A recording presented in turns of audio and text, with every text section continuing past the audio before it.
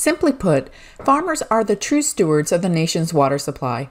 Agriculture places some of the greatest demands on fresh water in the U.S. and around the world. By better optimizing water usage, growers are not only doing their part to conserve one of nature's most precious resources, but can also produce healthier crops, all with less water. I'm Dr. DeBusk, and this video will discuss the strategies for water conservation for both agriculture and urban landscapes.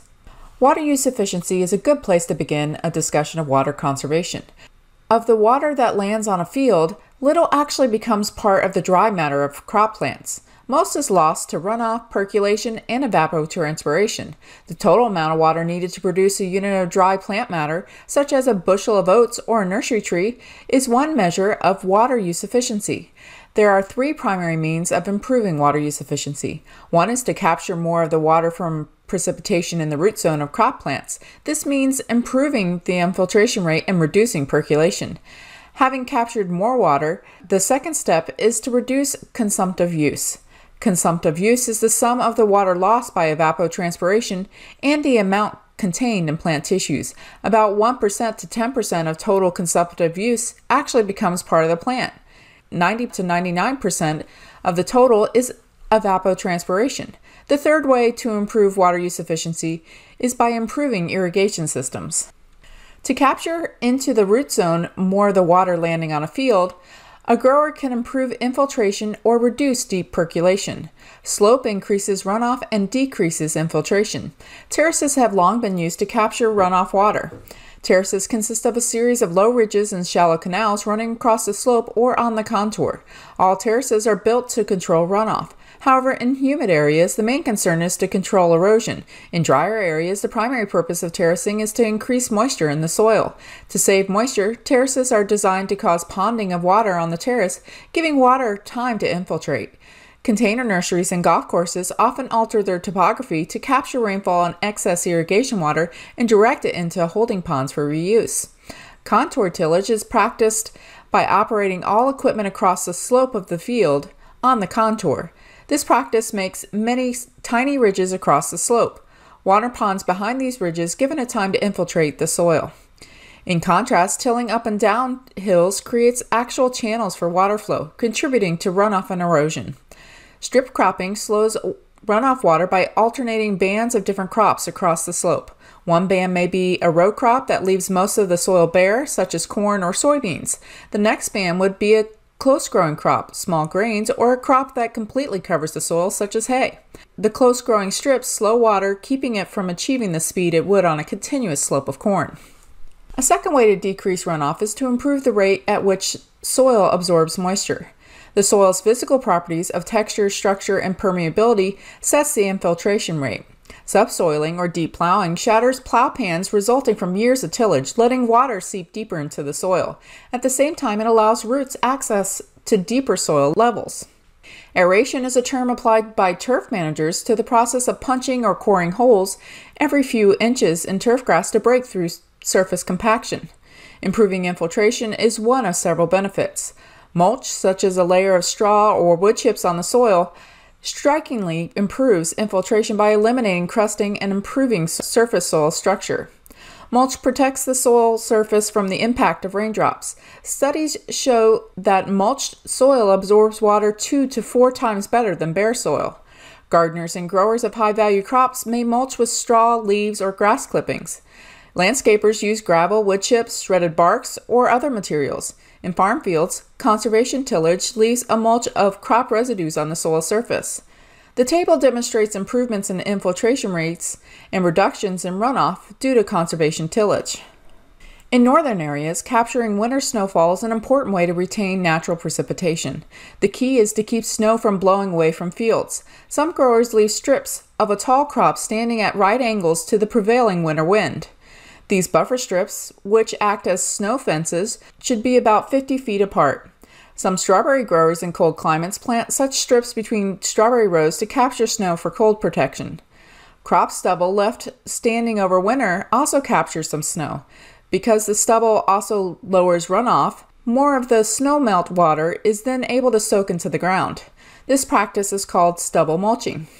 Water drains away very quickly through coarse soils, causing high percolation losses, which are difficult to reduce. The most practical way to reduce percolation losses is to improve the water holding capacity by maintaining the organic matter level. Because topsoil is usually the most moisture retentive soil layer, reducing erosion is also important. In fact, the USDA estimates that the loss of moisture holding capacity due to excess erosion costs American growers $2 billion annually. The water holding capacity of soil, especially of sandy soil, may also be improved by incorporating crystals of hydrophilic gel polymers. These new materials absorb many times their weight in water, swelling dramatically. Because these gels release water at low potential, moisture is retained until the soil dries enough for plants to need access to the water. Gels have been most often used in greenhouses to increase water retention in potted plants, but they have also been used in sand based sports turf and to improve survival in transplanted tree seedlings. However, when they are buried, pressure from surrounding soil inhibits their swelling and thus their ability to take up water. High soil salt levels also reduce their effectiveness, so gels may not help in all situations. Consumptive use is the total water used to produce a crop, including evaporation, transpiration, and water that becomes part of the plant. Consumptive use varies dramatically from place to place and crop to crop. Warm temperatures, wind, and low relative humidity all increase evapotranspiration. Growers can lower evaporation from soil by covering the soil surface with either vegetation or mulch, shading the soil, and reducing wind velocity at the soil surface. To shade the soil with crops means to grow them so the crop canopy quickly covers the soil. Mulches have the additional benefit of acting as a barrier to moisture movement. Loose organic mulches, such as straw, form only a partial barrier and reduce but do not eliminate evaporation. Many growers of high value crops such as berries, nursery stock, or vegetables mulch not only to preserve moisture, but also for weed control and other purposes. Reducing the number of tillage operations helps control evaporative losses. Each time the soil is worked, moist soil is dragged to the surface where it can dry out. Conservation tillage, use of herbicides for weed control, and combining tillage operations are ways to reduce tillage. It is difficult to control transpiration in plants. Three weather conditions cause high transpiration, high temperature, low humidity, and wind. Frequent light sprinkling of plants with water improves conditions by wetting the leaves and raising humidity. This practice is called crop cooling. Golf course and turf managers may lightly sprinkle turf to reduce heat stress during temperature extremes, a practice they call syringing. However, this method can hardly be called a moisture conservation measure because it uses moisture. Transpiration may be reduced directly by coating leaves with a material that reduces water loss through stomata and leaf surfaces. These anti-transpirants may be used on golf greens to reduce transplant stress to landscape plants during transplanting and in other special situations. However, while reducing water loss through stomata, anti-transpirants also reduce movement of carbon dioxide into the leaf, inhibiting photosynthesis. Another method of reducing transpiration is to plant windbreaks to cut the wind. Orchardists often plant tree windbreaks.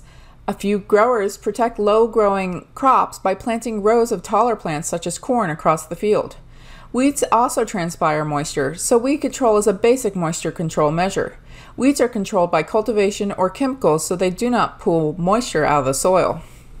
Another way to conserve moisture is to help plants make better use of soil water. This allows greater production with the same amount of water. The efficiency of plant water use can be measured by the transpiration ratio. This ratio is the amount of water transpired divided by the amount of dry matter produced. The ratio is affected by climate, the specific plant, and the soil conditions. The higher the ratio, the greater the amount of water needed to produce a pound of dry matter. There is great variation between plants. For example, alfalfa 885 needs three times as much water to produce a pound of material as sorghum 271.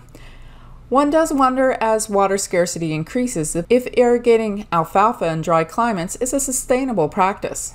How can growers improve transpiration efficiency? Windbreaks and crop cooling can help by lowering transpiration.